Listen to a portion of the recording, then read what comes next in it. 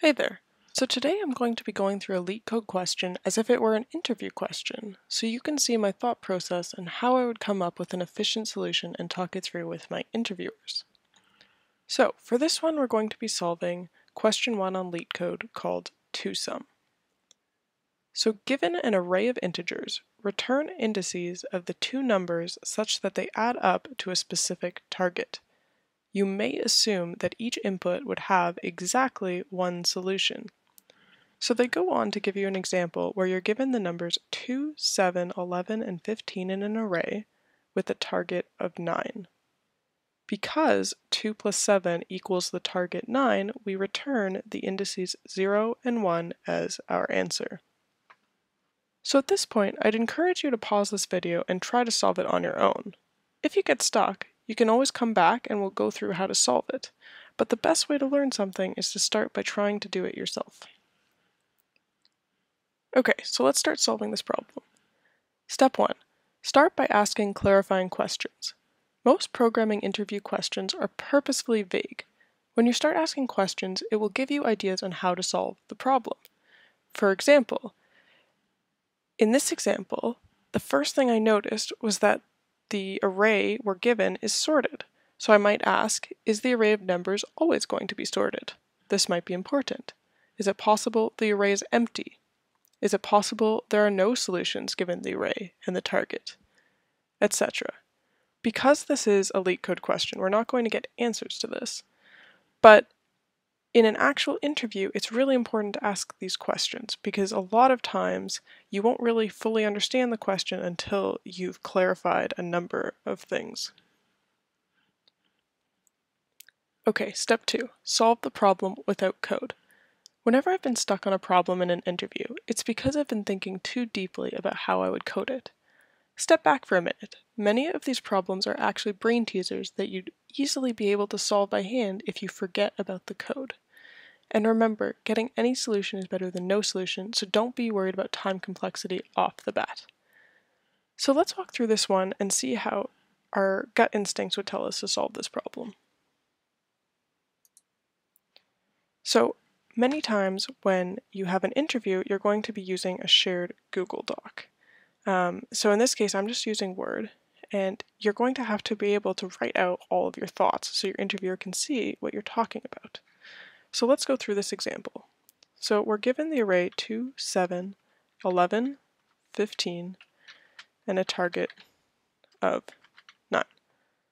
So my gut instinct, as I said before, is to just go through the numbers. So I would say 2 plus 7 equals 9. Okay. Then we would return the indices 0 and 1. This is relatively easy. Let's try a different target. So we'll rewrite out that array. And we'll say that this time, let's say the target equals 22.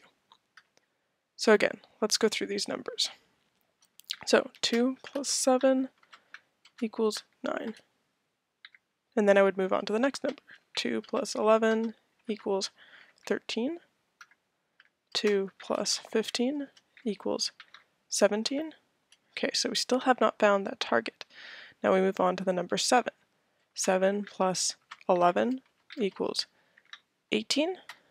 7 plus 15 equals 22. Okay, so now we have our answer. So now we could return the indices for 7 and 15. So just from looking at uh, just from looking at this, we have an idea for a solution. At this point in an interview, it's good to ask your interviewer if he'd like you to code this brute force solution or whether you should keep walking through ideas. Be sure to state that this solution idea isn't very optimal and you think you can come up with a better idea. That way, if your interviewer really wants to see you code, he has an opening to do so. If he's looking more at your problem solving skills right now, it also allows him to see this. But let us assume he wants us to code it we could implement this using two for loops. Okay, so let's start coding. So the first thing we want to do is we want to write out our function definition. So we know that this is going to return a, an int array with the indices of our results. And we're going to be passed in an int array of numbers and a target value.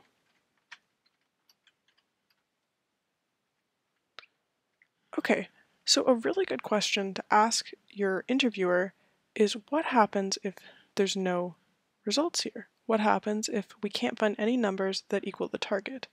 Now, the LeetCode problem said that this would not be the case. However, in an actual interview, usually you need to address these problems. So a good return value in this case might be negative 1, negative 1, because it indicates that this can't possibly be the right indices. We're just going to put that in there.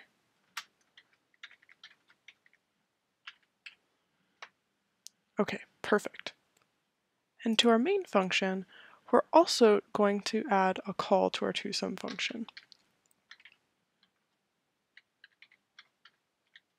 So we're going to say our result equals two sum, and we're going to call this with that array we've been using the whole time for our examples, which is 2, 7, 11, and 15. Okay, perfect. And we're going to set the target initially to 9. And then we just want to print out the results.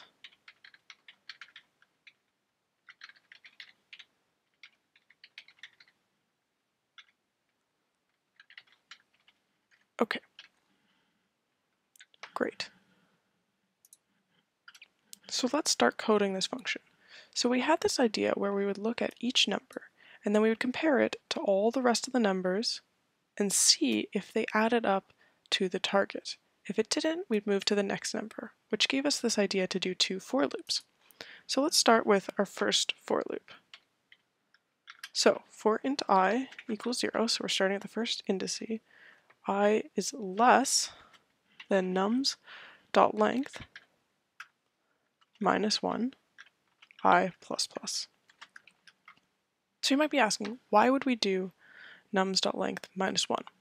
The answer is we want to go from the zeroth index there up until this number, the second to last one. Because if we went to the last one, there's no there's no value after, so we wouldn't need that additional for loop. We've already checked if all the values plus this last value can equal the target.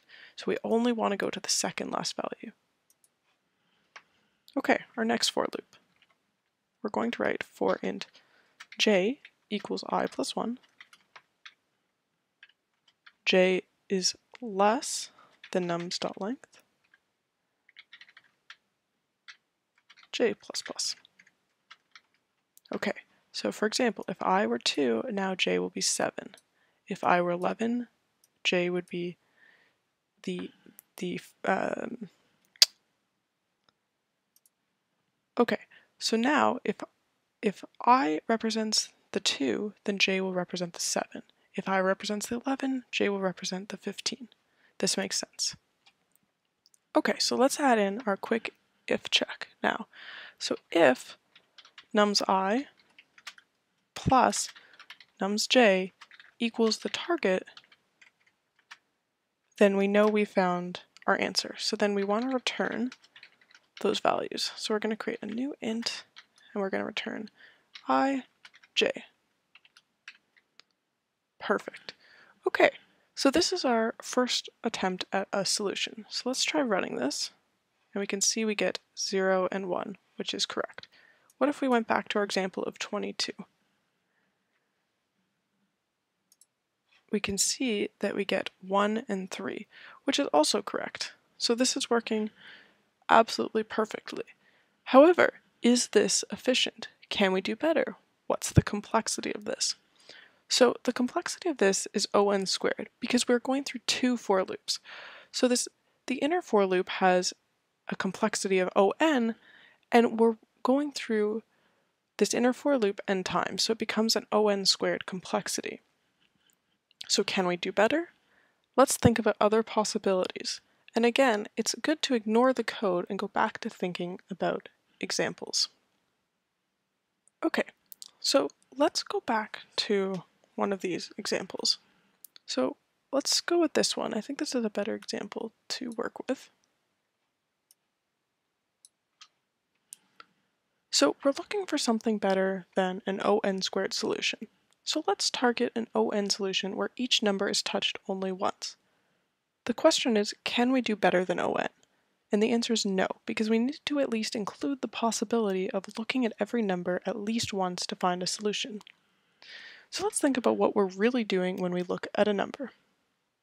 Let's take 7 for example. When I look at 7, I'm checking if a number plus 7 equals this target 22. So, what number are we really looking for? Well, let's call that number we're looking for x.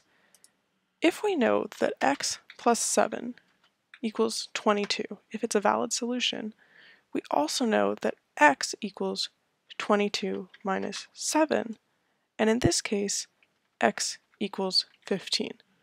So really, when we look at 7, we just need to check if we've if the number 15 exists within the array.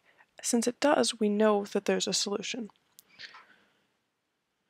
So, what's a good way to store numbers we've already seen? The answer is a hash map.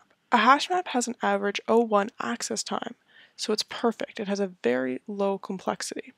So now we're getting somewhere. Let's just review our idea in our heads before we start coding it. This is good to do in an interview to make sure you understand your solution. So let's go through it on an example. So on each number, we check if the hash map contains the target minus the number we're currently looking at. If it does, we have our solution. If it doesn't, we add the number to the hash map and move to the next number in the array. So let's say we're going through 2, 7, 11, 15 with a target of 22. And we'll just say this is our hash map. Okay, we start by looking at the number 2. So the target minus 2 is 20. Is 20 in our hash map? The answer is no. So what we're going to do is we're going to add to our hash map the number 2 and the index it's in, which is 0. Okay, now we move to the next number in the array, the 7. Okay, so 22 minus 7 is 15. Does 15 exist in the hash map? No, it doesn't. So we're going to add 7 into our hash map. And its index is 1. Now we look at 11. 22 minus 11 is 11. Does 11 exist as a key within our hash map? No, it doesn't. So again, we're going to add this with its index to the hash map. So we get 11 and 2. Okay, now we're going to look at 15. 22 minus 15 is 7. Does 7 exist in our hash map? Yes, it does. Okay, so now we know that we need to return that index, which in this case is 1.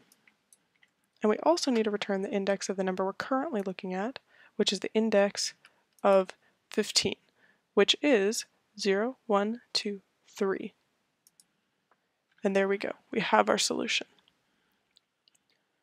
So we now have an idea of what we're doing. We've worked through an example. It appears to be working. So now we can begin to code it. Okay, so now we're ready to code our solution.